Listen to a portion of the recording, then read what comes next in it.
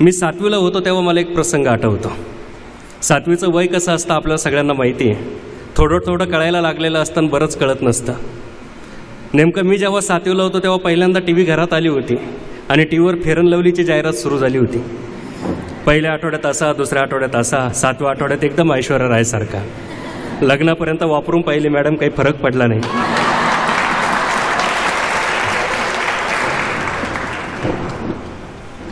लग्नानंतर मग तो विषय मी सोडून दिला.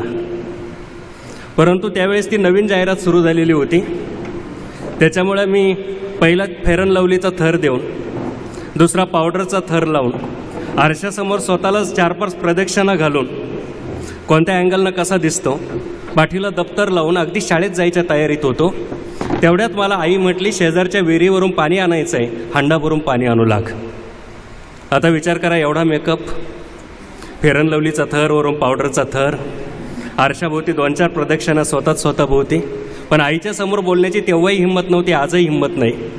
म्हणजे आज आपण घरात आईसमोर पण बोलत नाही बायकोसमोर पण बोलत नाही. आपण थर्ड अंपायरसारखे असतो. म्हणून सुखात चाललंय. मी हातामध्ये हांडा घेतला आईनं तिचे दोन हातात हांडे घेतले. शेजारच्या विहिरीवर गेलो आईनं पाणी शेंदून काढले तिन्ही हांडे भरले. मला म्हटली तुझा डोक्यावर भरलेला हांडा उचलून देते. मला थोडा रागच आलेला होता. मी जरा फुगलोच होतो. आईला म्हटलं तुझे तुझे हांडे घे मी येतो पाठीमागून. आईनं दोन्ही हांडे उचलले तिनं पाहिलं हे जरा फुगेल दिसतं. आई निघून आली. मला राग आलेला असल्यामुळं आणि मी थोडासा आळशी असल्यामुळं माझ्या वाट्याला असणारा हांडा मी थोडा रिकामा केला. डोक्यावर घेतला. पुढं पाय दिला का मागून पाणी पडायचं. थांबलं का पुढून पडायचं. मी जेव्हा घरी पोचलो तेव्हा तोंडावरची पावडर पायापर्यंत गेली होती. फेरन लवली कुठं गेली कळली नाही. आईनं तिचे दोन्ही हांडे उतरून ठेवले आणि दरवाजामध्ये माझ्या डोक्यावरचा हांडा उतरून घेण्यासाठी आई आली. तिनं माझ्याकडे नीट पाहिलं. मॅडम मी त्या दिवसापासून सांगतो आहे की माझी आई अडाणी आहे. आई अडाणी असू द्या नाही तर तुमच्यासारखी प्राचार्य असू द्या. आई हे ज्ञानाचं पहिलं विद्यापीठ असतं.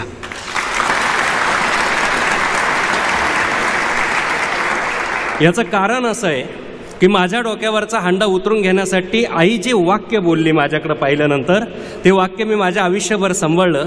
ते वाक्यच इतकं सुंदर होतं की माझं आयुष्य बदललं. आज मी शिक्षक आहे. एका संघटनेचा राज्याचा अध्यक्ष आहे. तरी माझं घर साधं पत्र्याचं आणि बिगर प्लॅस्टरचं आहे. पण पण आईच्या त्या वाक्यामुळं माझ्या घरामध्ये सर कॉस्ट काढली नाही पण काढली तर पाच लाखापासून आठ लाखाची पुस्तकं आहे. याचं कारण याचं कारण माझी आई मला म्हटली तिनं माझ्याकडं पूर्ण असं ओल्लं झालेलं पाहिलं मी हांडा रिकामा केलेलं होतं हे तिच्या पटकन लक्षात आलं. माझी अडाणी आई मला एक वाक्य बोलली ते वाक्य असं होतं की बाबा डोक्यावरचा हांडा कधीच रिकामा नको. जो हांडा रिकामा असतो तो डचमळतो. जो भरलेला आहे तो डचमळत नाही.